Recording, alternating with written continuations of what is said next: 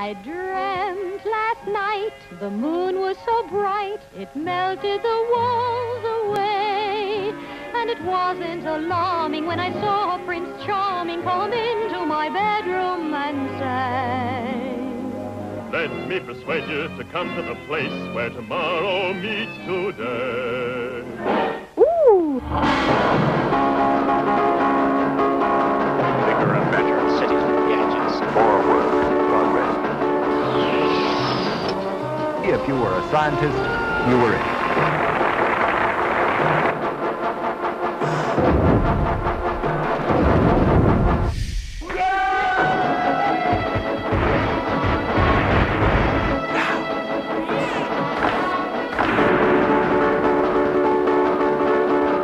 Your excellent science, I am your faithful servant. That's the tomorrow. building a new world.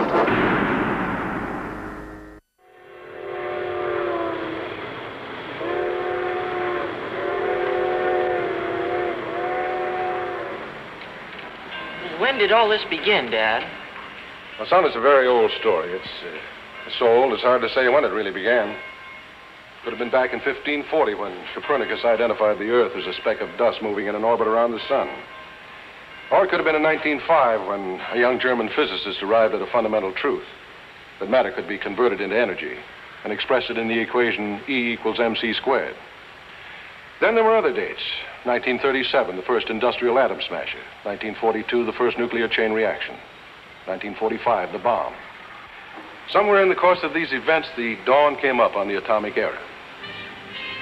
It's going to have a tremendous effect on our town down there, son.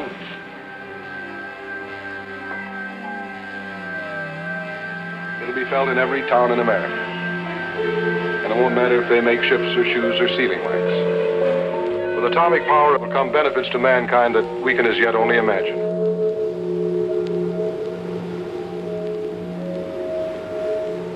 I've got to call the governor. Sir, I do. Uh, I think you've got to talk to him immediately. Do, uh, do it immediately. We're operating almost totally in the blind. His uh, information is ambiguous. Mine is non-existent. I don't know. Uh, you know, a couple of uh, blind men uh, now have to stagger around and make a decision.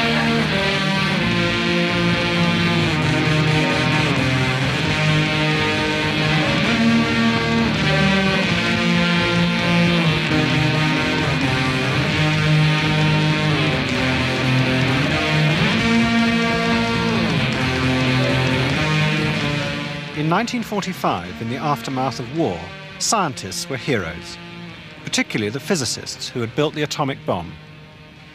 They are men, said Life magazine, who wear the tunic of Superman and stand in the spotlight of a thousand suns.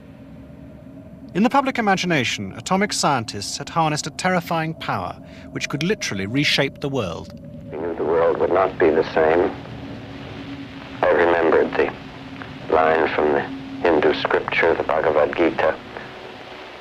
Now I am become death, the destroyer of worlds. I suppose we all thought that, one way or another. Many of the scientists who had worked on the atomic bomb felt a deep sense of guilt about what they had done. They were convinced they now had a moral duty to use the immense forces they had unleashed to better, peaceful purposes. What they did not foresee were the demands that would be made on them when their science came out of the laboratory and into the world of politics and big business. They would lose control and be forced to compromise and to deceive.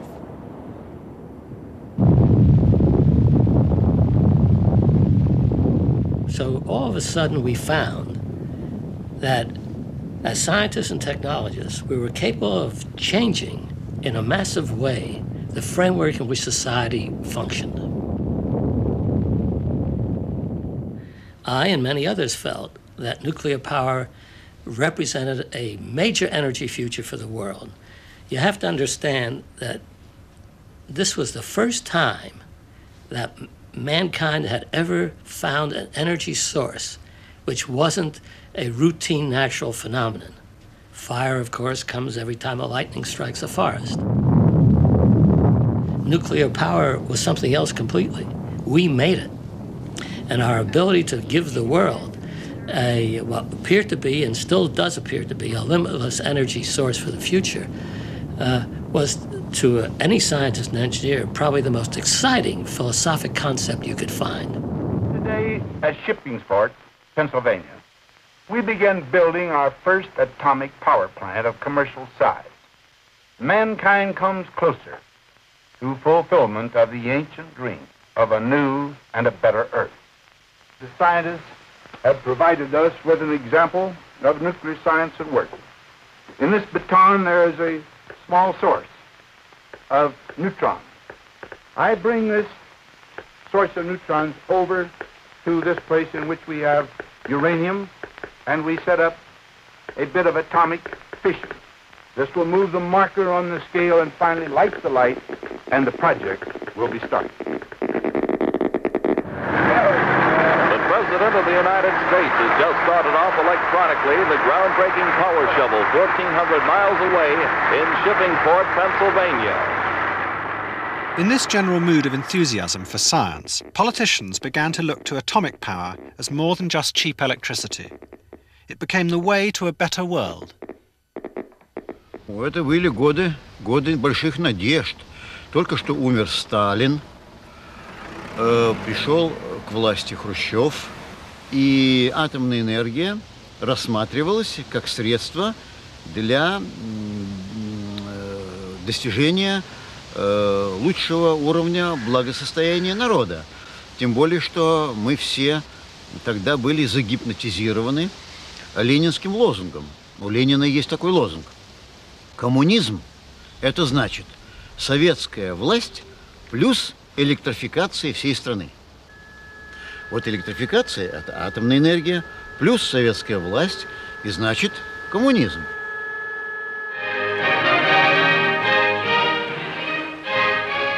At the very same time as Eisenhower began construction at Shippingport, Russia suddenly announced it had already built the world's first nuclear power station. What the Soviets did not reveal was that it took more electricity to run the plant than it produced. Then in 1956, another country entered the nuclear race. In this case, the atom's role was to recapture the glories of the past.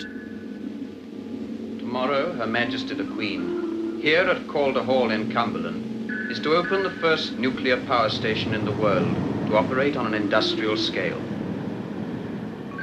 Our prosperity in the Victorian era, wrote the government's scientific advisor Lord Cherwell, was due to the men who put Britain 80 years ahead in the use of steam power. Our prosperity in the coming century will depend on learning how to exploit the latent energy in uranium. Uranium. Well, now that is uranium. That little black thing I'm holding in my hand, two pounds of that size of uranium. And the potential energy which could be given off by this when properly used is equal to the energy, or the heat, if you like the word better, produced by 2,600 tons of coal. That is uranium.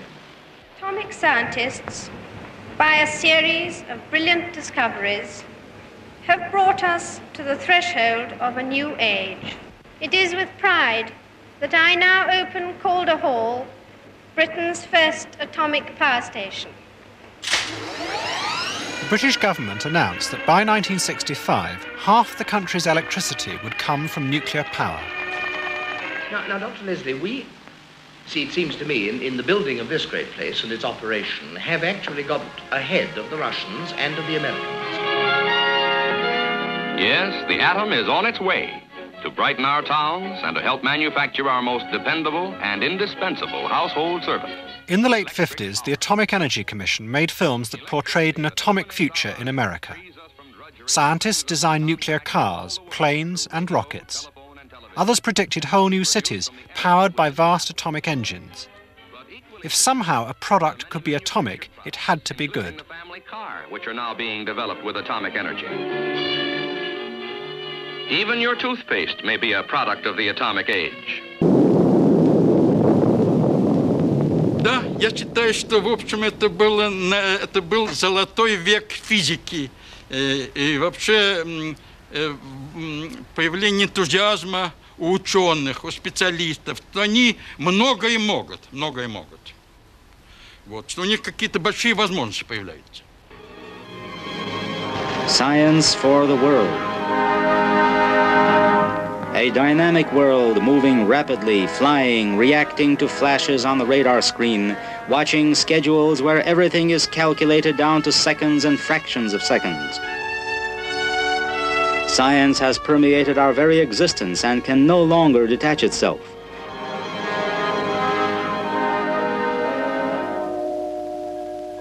The station is to be situated on the shores of a forest lake. During the rest period, a magic silence reigns around the building site. But now, just when the scientists were being swept along on a wave of publicity, they began to discover it was going to be far more difficult to produce nuclear power than they had first thought.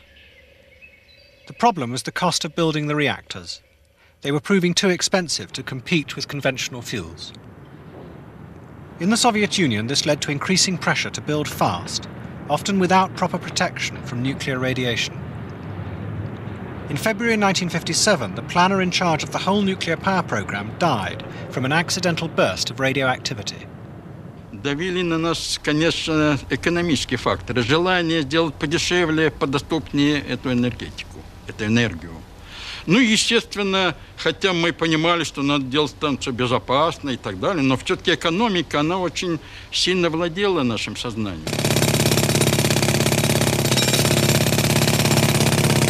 Они настолько быстро двигались, что кое-что не успели просто еще сделать. И поэтому, э, может быть, мы недостаточно э, уделяли внимание рассмотрению вопросов обеспечения безопасности, в особенности в части тяжелых аварий. Then, in October 1957, there was a major accident in Britain. Emergency at Windscale Atom Plant. And the milk from 200 square miles of farmland is condemned as radioactive. The core of the reactor caught fire and spewed high levels of radioactivity across northwest England. The radioactivity released was far worse than the public was told. It led some scientists to question the speed at which the technology was being pushed to compete with fossil fuels. They included the scientist who had built Windscale, Christopher Hinton.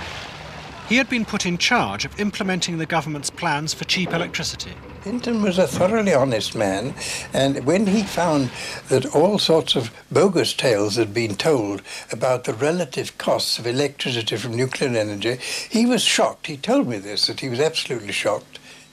He uh, realized that the estimates of the cost of nuclear energy compared with the cost of coal energy were cooked. And when I said to him, why didn't you do anything about it? He said, well, I couldn't because the thing had gone too far. You see, so much had been committed then to a nuclear future. No more shillings for the gas. Mother just splits an atom and supper's ready. It must have been some billions that they'd already spent. It was too late. It is, of course, a cliche that, the, that we're living at a time of such rapid scientific change that our children are accepting as part of their everyday life things which would have been dismissed as science fiction a few years ago. We're living perhaps in a more rapid revolution than some of us realize. The politicians were now committed to nuclear power. In 1960, a Labour politician, Anthony Wedgwood Benn, suggested an idea for a party political broadcast. To the hymn Jerusalem, the camera would rise from waving fields of corn to reveal an atomic plant. The conscious, planned, purposive use of scientific progress to provide undreamed of living standards and the possibility of leisure, ultimately, on an unbelievable scale.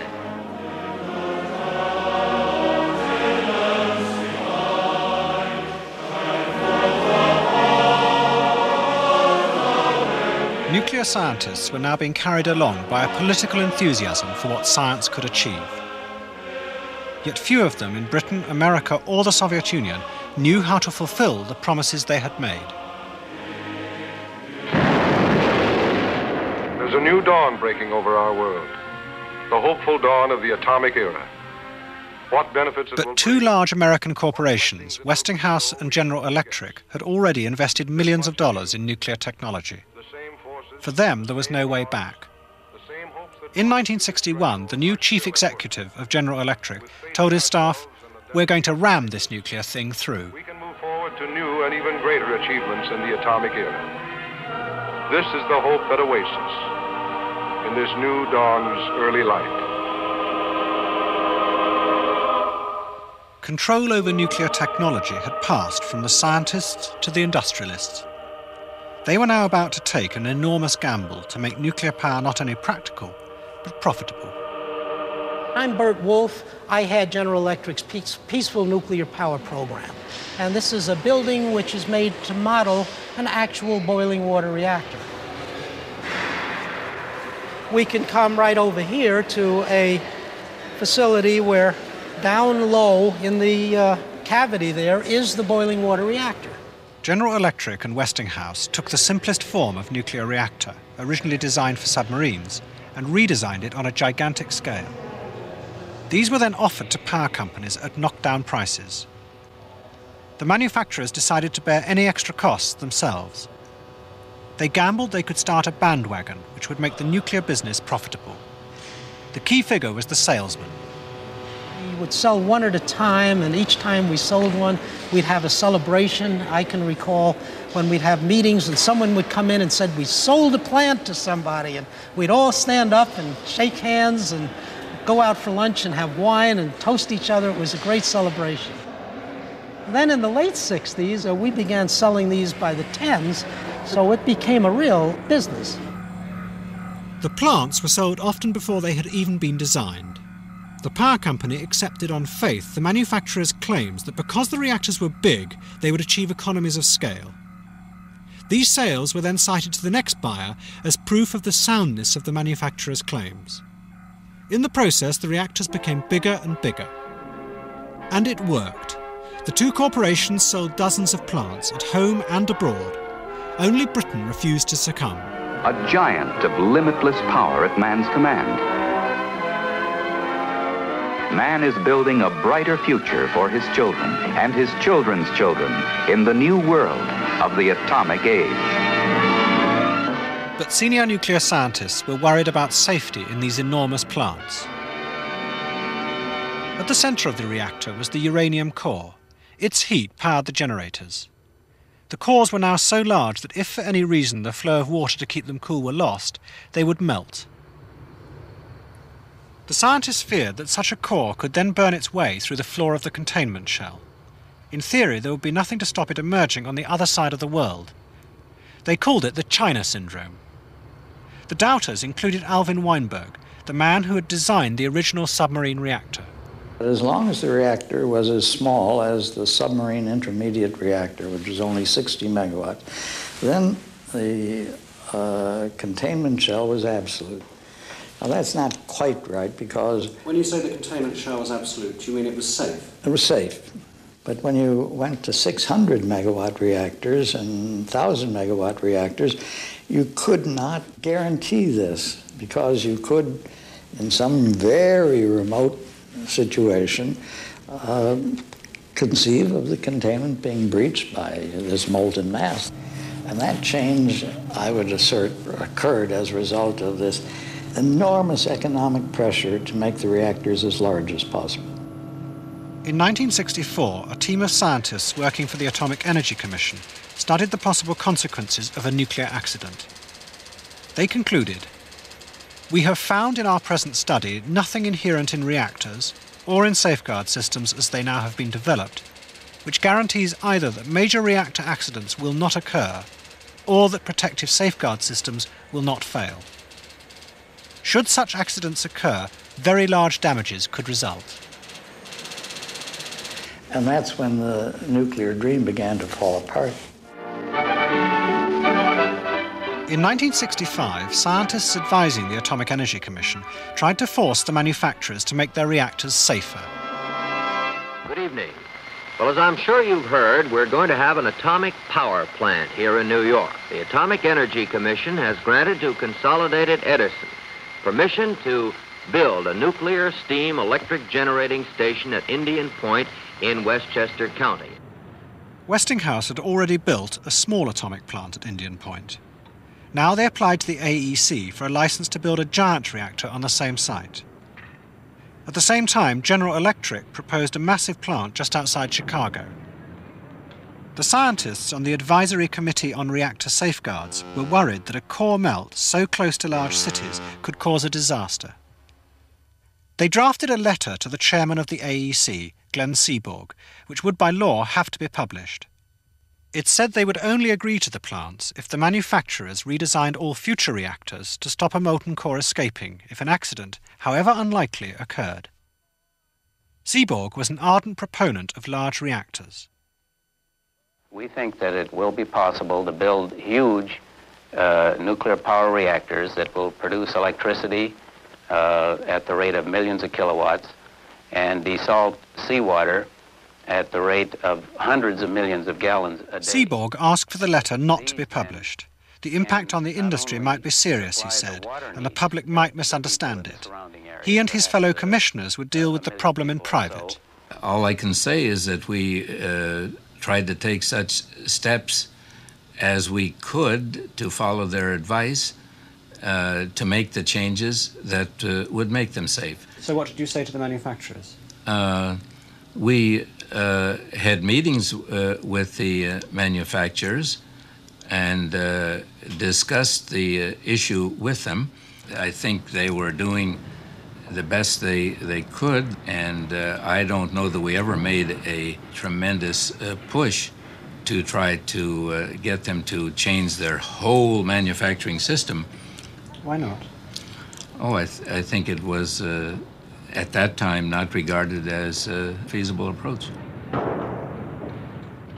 We asked uh, General Electric to come in and discuss how they might cope with this, and uh, in effect, they came in and showed the problems uh, that would arise with their containment and indicated uh, they didn't think uh, they wanted to continue selling uh, power reactors if uh, this if they were going to have to deal with the core melt problem.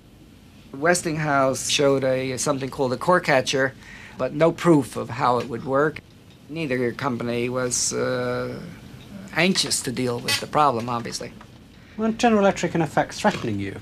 They're saying if you insist on this, then we'll just pull out of this. It was a kind of uh, threat, I think. Yes. What would have happened if you had said, I think these plants that are being built, these enormous plants by General Electric and Westinghouse, are potentially dangerous. What would have happened if you'd said that? Well, that's a hypothetical uh, question. Uh, you had I, the power to do it. What would what would have happened? I don't think we had the power to stop them. Uh, well, we could have uh, we could have refused to license them, of course. Uh, but uh, again, I, I, think that in the context of the of the times, it's uh, it, it's uh, not uh, a, a, question that uh, that makes much sense. Indian Point and the other reactors were built without the redesign the committee had asked for. Instead, the AEC ordered a massive upgrading of the capacity of the emergency cooling systems to prevent a core from ever melting. In effect, the manufacturers had got their way, but they had set a terrible trap for themselves.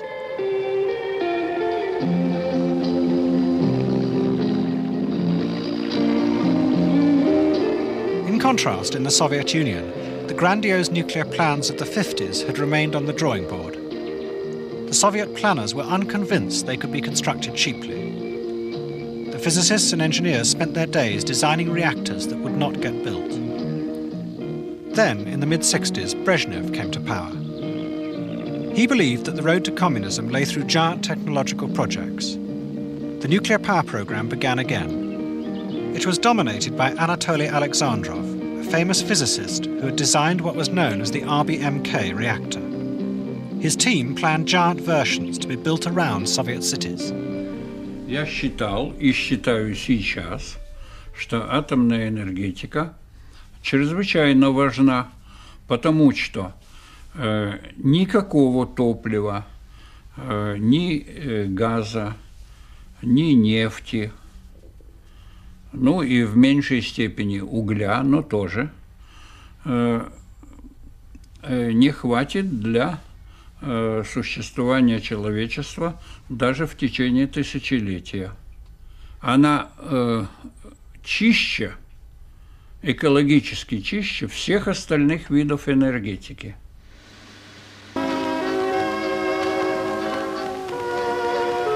The idyllic picture of a nuclear Eden masked a reality in which safety was barely even considered. The reactors were built at great speed to cut costs and to fulfill the Soviet plan.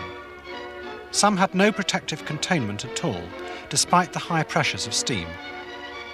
Large amounts of water, contaminated by radiation from the reactor core, were pumped into giant open ponds. А потом решили строить уже крупные в 1 миллион киловатт. В 1973 году был построен первый блок, и след за ним следующий, следующий, следующий, следующий, следующий. Но поскольку я участвовал в этих работах, был на площадках, где строилось, то я видел, что в погоне за успехом как бы потеряли чувство меры. Complete safety for the attending personnel is ensured at the atomic power plant. The slightest radioactive contamination can be detected with the aid of radiation monitors. At the exit of the washroom, there is a dosimetric installation. This will not let you out if there is the slightest trace of radioactivity about you. При Брежневе началось активное разложение, воровство, пренебрежение к делу и так далее. И когда к концу 70-х годов эра Брежнева достигла своего апогея, это совпало с максимумом развития ядерной энергетики, и стало это просто все пон понятно, и это видели многие. Попытки как-то решить это дело путем служебных записок не имели значения. Нужна была публикация в крупном журнале. Koryakhin and a fellow engineer wrote an article in the newspaper Communist. It openly challenged Alexandrov. It criticized the lack of safety in the design of the plants, where they were sited, and the growing question of what to do with the nuclear waste. It caused a sensation Была создана специальная пресс-конференция, где было сказано, что эта статья клеветническая, что это все не так, все это неправда, хотя это было уже многим ясно, так как вот это, вот, я бы сказал, научная мафия во главе с э, Александровым и Институтом атомной энергии, но она заняла удобное положение, потому что все награды, ордена, звания, поездки за границу и всякие, как у нас в России говорят, пироги и пышки достига, доставались им, а синяки и шишки доставались простым инженерам в других институтах. Ну, это довольно широко бывает в жизни. Часто бывает в жизни. Britain, meanwhile, struggled just to make her plants work. So far, the first of the advanced gas-cooled reactors being built here on the Kent coast at Dungeness hasn't produced a single watt of electricity.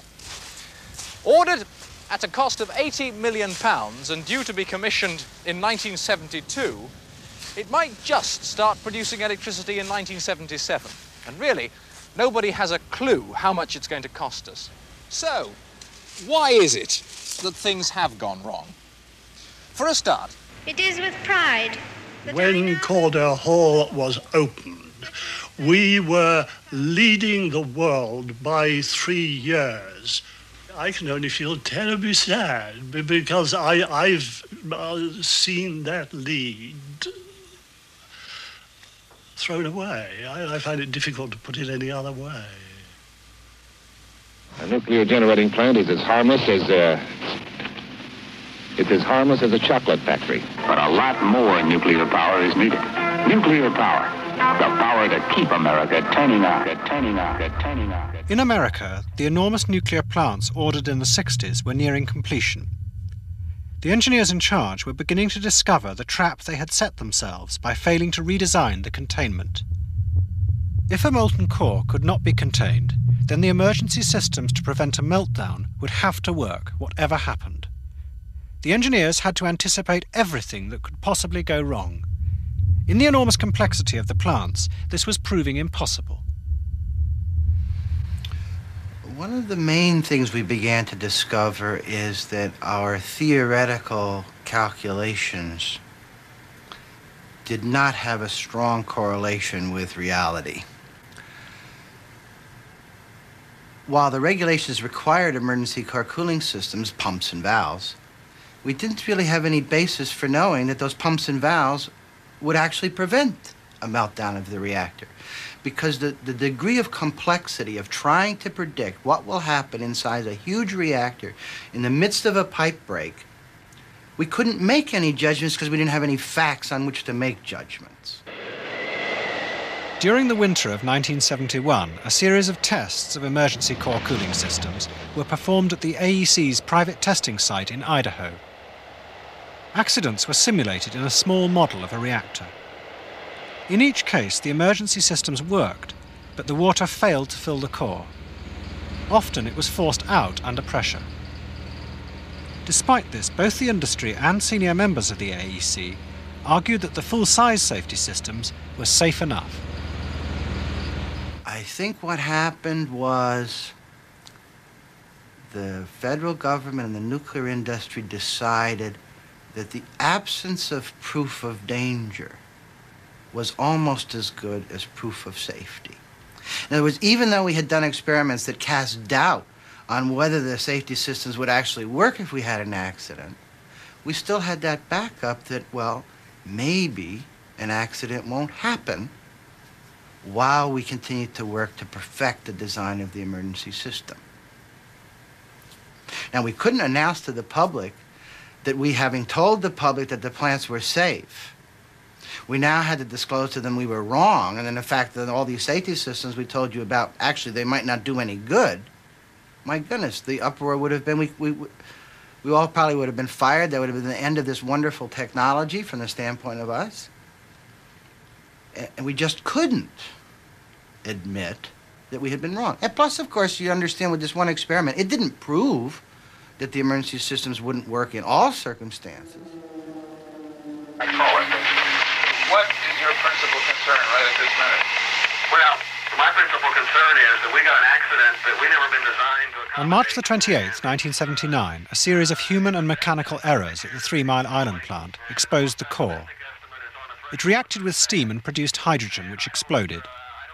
None of the emergency teams could understand what was going on inside the reactor. Then suddenly, this helicopter detected a large radioactive cloud drifting towards the nearest town.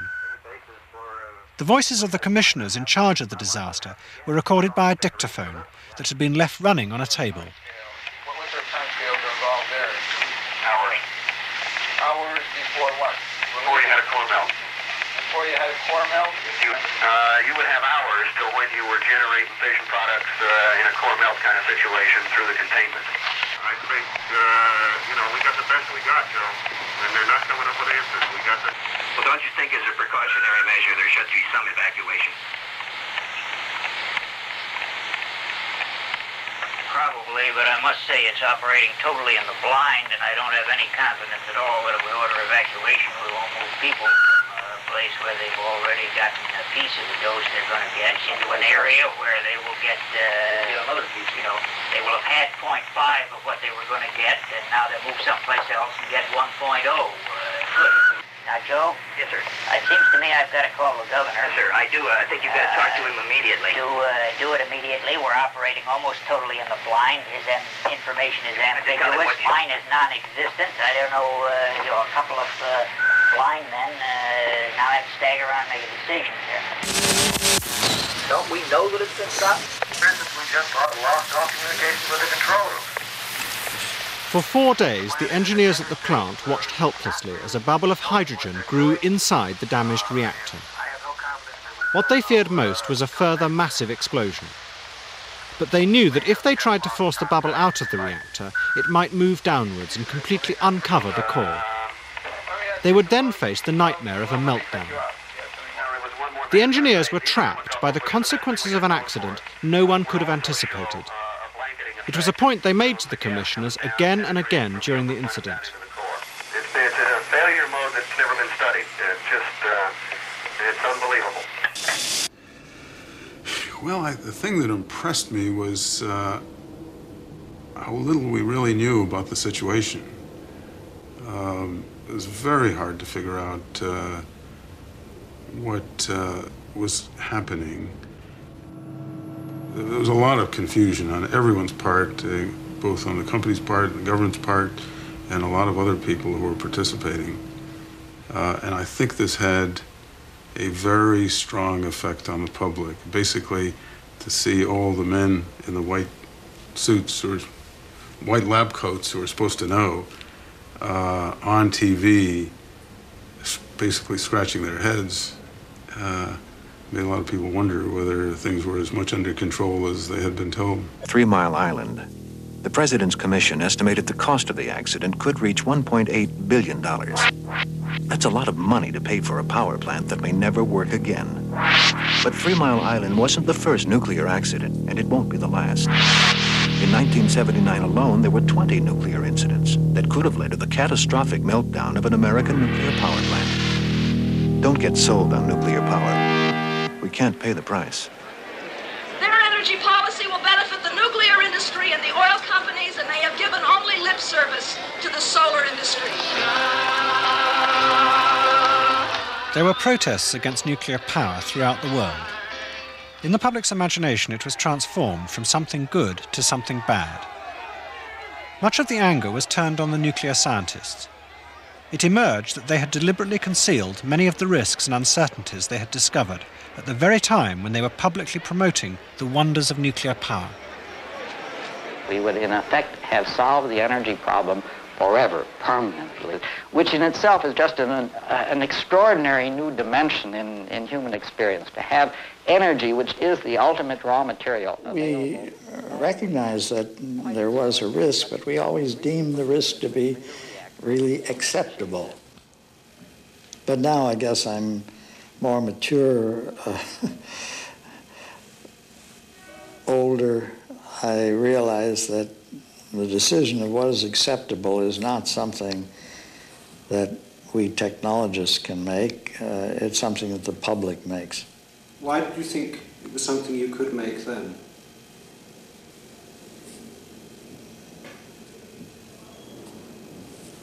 You know, I guess it never occurred to me to uh, to ask this question.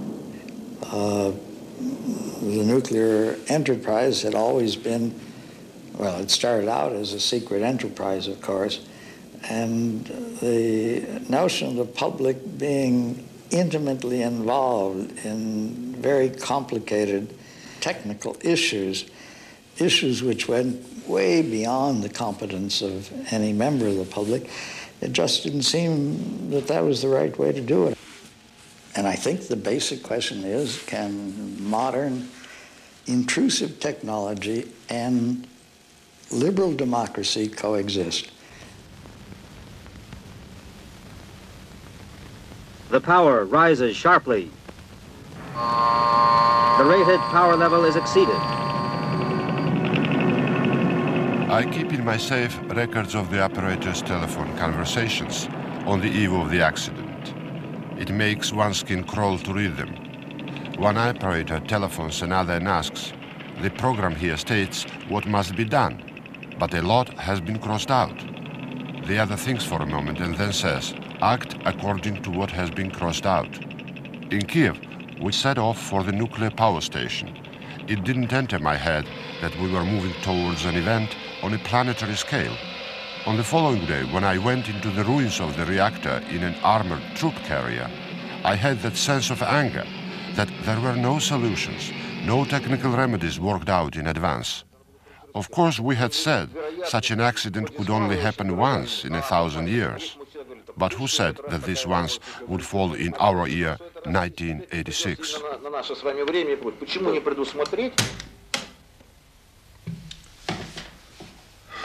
Это голос Валерия Легасова, академика, одного из моих героев моей повести «Чернобыль», человека необыкновенной и трагической судьбы, человека, с которым я встретился осенью 86 -го года.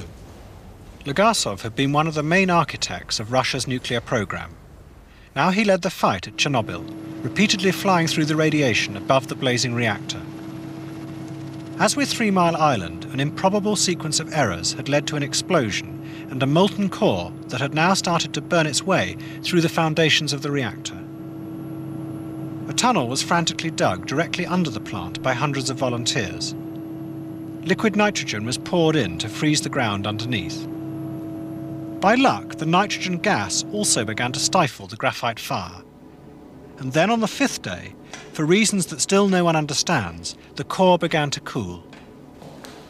Despite this, throughout the disaster and the terrible dangers, Legasov remained a staunch defender of nuclear power. The maximum dose was 0.7 roentgens per hour. Over the reactor, we got between 0.3 and 0.5 roentgens. Do you think we'll be able to have children? Yes, don't worry. Are you sure? I've been working with radioactivity since 1964, and I've got kids, don't worry. In the months that followed, Legasov changed his mind. In a long taped interview with the then Soviet MP Yuri Shcherbak, he gave a damning criticism of the whole nuclear power program. The problem, he said, was the demand that was made of the technology. Удивительная э, была встреча наша с Легасовым, удивительный разговор. Он как-то очень доверительно, очень откровенно э, вдруг начал мне рассказывать э, все боли, все то, что он пережил в Чернобыле. It's easy to think or imagine that the enemy is the nuclear reactor, but the enemy isn't technology. I have come to the paradoxical conclusion that technology must be protected from man. In the past, the time that includes the old reactors, the time that ended with Gagarin's flight into space, the technology was created by people who stood on the shoulders of Tolstoy and Dostoevsky. They were educated in the spirit of the great humanitarian ideas, in the spirit of a beautiful and correct moral sense. They had a clear political idea of the new society they were trying to create, one that would be the most advanced in the world. But already in the generations that succeeded them, there were engineers who stood on their shoulders and saw only the technical side of things. But if someone is educated only in technical ideas, they cannot create anything new, anything for which they are responsible. The operators of the reactor that night considered they were doing everything well and correctly, and they were breaking the rules for the sake of doing it even better. But they had lost sight of the purpose, what they were doing it for.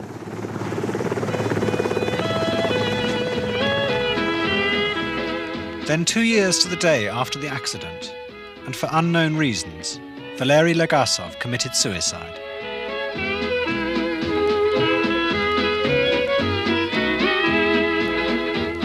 This world is at a tremble with its strength and mighty power. They're sending up to heaven to get the brimstone fire.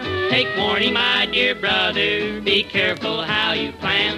You're working with the power of God's own holy hand. Atomic power,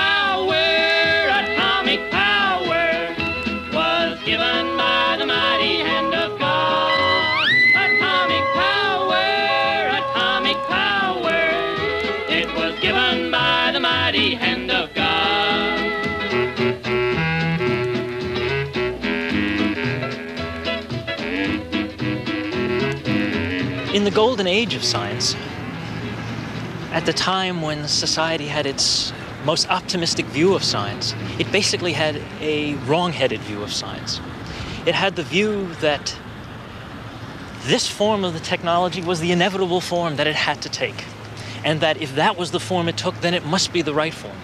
40 years later, we have a similarly naive view. It's no longer tinged by hope and optimism, it's tinged by pessimism and fear. But we still have this view that society can't shape technology, that the form that the technology takes is the form we must accept. And just as it wasn't true in 1950, it's not true today. This is not a story of technology run amok, although that's how many people would understand it to be. The history of nuclear power is a history of, of political and economic and social decisions being made about a technology. And the, the key decisions weren't made by the technologists, they were done in the business realm. What science and technology gives you is a range of possibilities, and those possibilities can take you in any number of directions. It's potentially a liberating force, but to get there, society has to stop sleepwalking and start realizing that it's, it's not a scientific choice, it's not an engineering choice, it's a moral choice. Well, George, does that answer your question? It sure does. Given me a whole new perspective.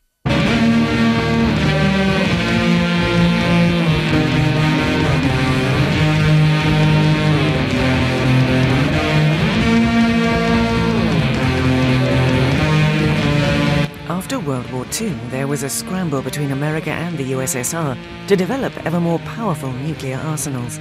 If you're a digital satellite viewer, press red to find out more. Next, here on UK TV History, we look at the definitive account of Hitler's death.